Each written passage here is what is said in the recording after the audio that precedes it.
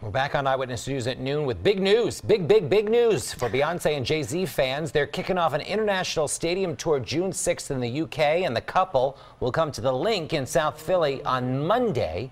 June 30th. Mark it in your calendars. It'll be part of a tour that includes 15 stops in the United Kingdom and 21 cities in North America.